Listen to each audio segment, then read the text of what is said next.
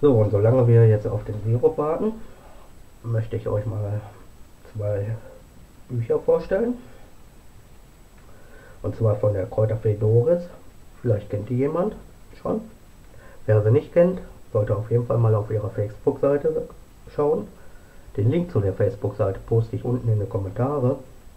Schaut doch mal rein. Da gibt's, also die stellt vieles aus Kräutern her und hat jetzt diese beiden Bücher gemacht und macht noch vieles mehr, wie Kräuterkisten, halt alles aus Kräutern.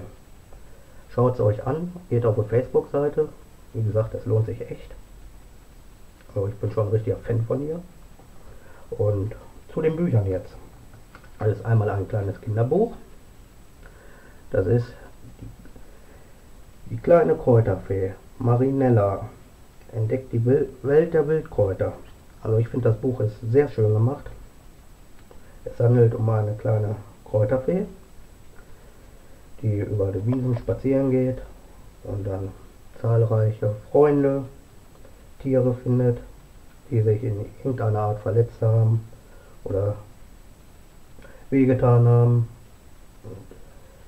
Die heilt sie damit den Kräutern, die gerade da sind auf der Wiese. Also ich will aber jetzt nicht zu viel verraten. Schaut es euch einfach an, das Buch. Für Kinder ist es sehr schön gemacht, schön mit bemalt. Also, ich finde das Buch klasse und ich hoffe, dass es davon auf jeden Fall noch einen Teil 2 und Teil 3 geben wird und auch mehr, die ich dann auch noch holen werde. Ja, zu dem, das war das Kinderbuch. Dieses Buch werden übrigens meine Kinder zu Weihnachten kriegen, deswegen habe ich es mir extra kommen lassen. So, das zweite Buch, da ist die Kräuterfibel von der Kräuterfee Doris. Auch ein sehr interessantes Buch, was ich auf jeden Fall haben wollte. Und zwar geht es darum, die Kräuterfee Doris stellt sich darin erstmal vor. Dann, er, dann erklärt sie, wie man sammelt und tut und was man zu beachten hat.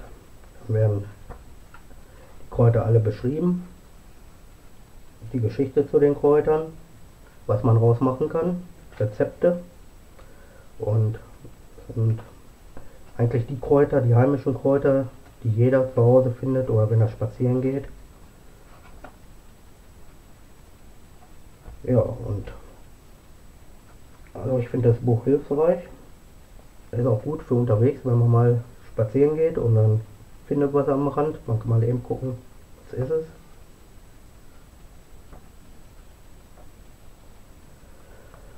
Also sehr zu empfehlen, dieses Buch. Hoffe ich auch, dass da noch andere kommen mit weiteren Kräutern. Und zeige ich mal, so sieht die Kräuterfee Doris aus.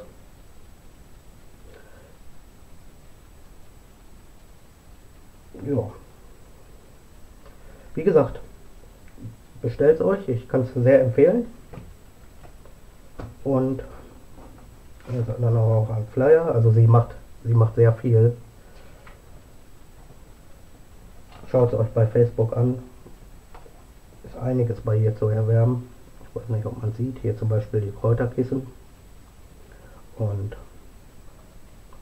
naja, ist lohnenswert. Geht auf ihrer Facebook-Seite, den Link äh, schreibe ich unten rein.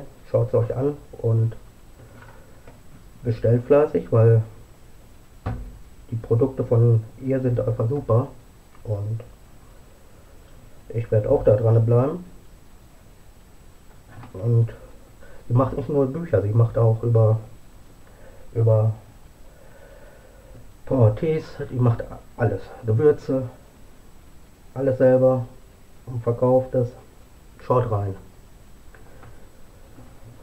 Wollte ich jetzt nur mal noch ein bisschen vorstellen, weil ich das jetzt gerade dann zugeschickt bekommen habe und schon durchgeschaut habe. Also sehr empfehlenswert. So, jetzt zu unserem Sirup. Da steht er jetzt schon ein paar Minuten, wo ich das Buch vorgestellt habe. Und in den paar Minuten hat sich schon Saft gebildet. Das jetzt nicht, deswegen gibt kippe ich den jetzt einfach mal jetzt mal hier rüber, so dass man sieht.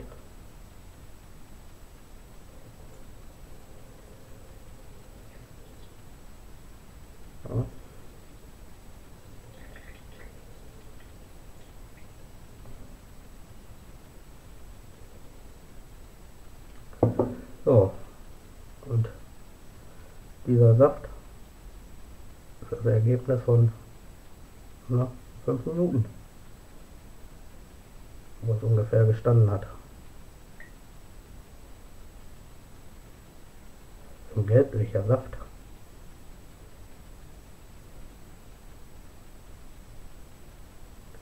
Mal wieder rein.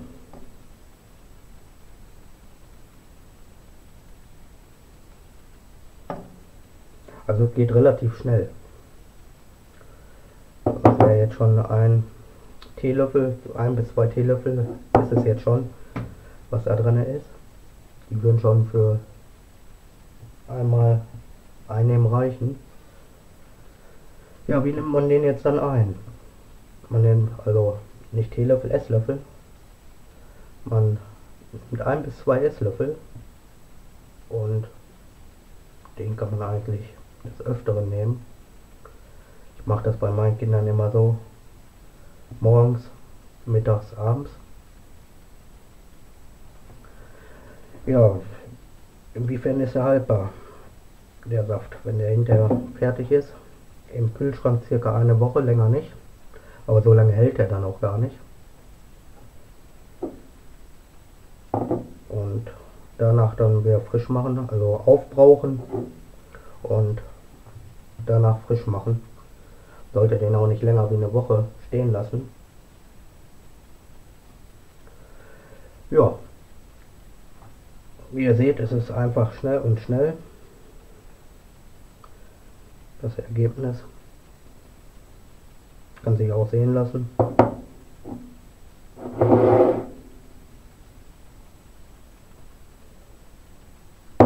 Er riecht, der Saft, er riecht etwas nach Zwiebel. Also etwas, er riecht eigentlich stark nach Zwiebel. Aber er schmeckt gar nicht nach Zwiebel, er schmeckt einfach nach Honig. Nach ganz leichter Zwiebelgeschmack ist da, aber ganz wenig. Gut, der Nachteil dahinter natürlich ist, die Kinder einen ansprechen, die riechen den ganzen Tag nach Zwiebel. Aber es sollte ja kein Problem sein, Hauptsache sie werden gesund. So, und das gleiche Prinzip kennt glaube auch jeder mit dem Spitzwegerich. Nur statt Honig wird Zucker genommen, dann wird Zucker ins Glas gefüllt. Das mal jetzt hier ganz leer. Ungefähr so viel Zucker. Ne, erst kommt Spitzwegerich rein, Zucker drauf. Dann wieder eine Schicht Spitzwegerich, dann wieder Zucker drauf. Dann wieder eine Schicht Spitzwegerich und wieder Zucker drauf, bis das Glas voll ist. So, das stellt man dann in einem warmen, sonnigen Platz. Also sonnig ist er jetzt im Moment schlecht. Also nah an Heizung. Und das sollte dann ein paar Tage stehen bleiben. Und dann hat man einen braunen Hustensirup. Ich habe den schon gemacht. Der hält sich dann auch etwas länger. Ich habe den hier in den Flaschen abgefüllt. Davon habe ich etliche. Im Wintervorrat schon damit aufgefüllt. Und der schmeckt auch sehr gut. Der ist dann halt mit Zucker gemacht. Ist auch so dickflüssig wie Hustensaft halt. Schmeckt nach Hustensaft. Und ja, nehmen die Kinder auch gerne. Komplett chemiefrei, alkoholfrei.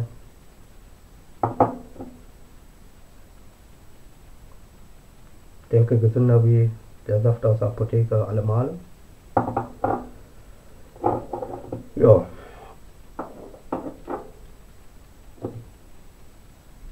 Gut, jetzt sieht man ja der Saft.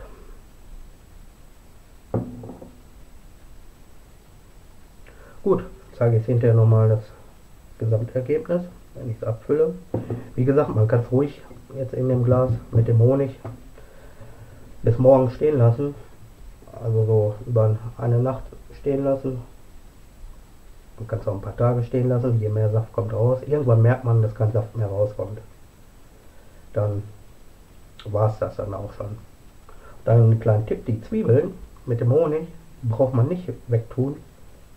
Ich brate die dann immer danach noch an und die schmecken dann sehr gut. Diese süßen Zwiebeln. Kleinen Tipp, bevor man sie wegschmeißt. Man kann sie dann auch gut in Salat machen. Habe ich auch schon, haben wir auch schon öfter gemacht.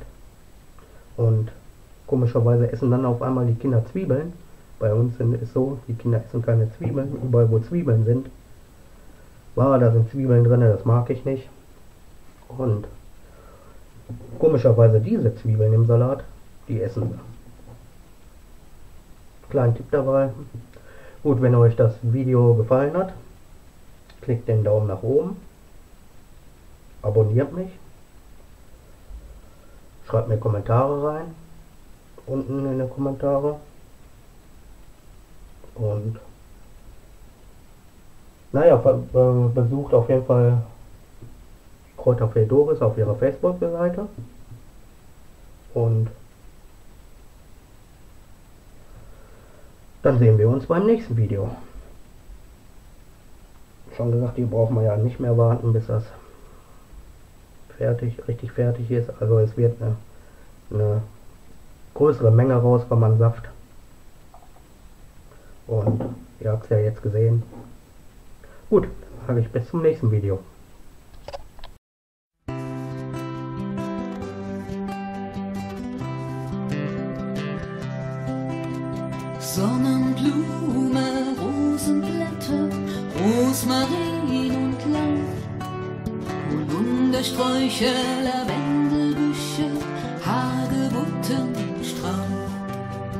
Kirschen, Äpfel, Haselnüsse und ein Pfirsichbaum.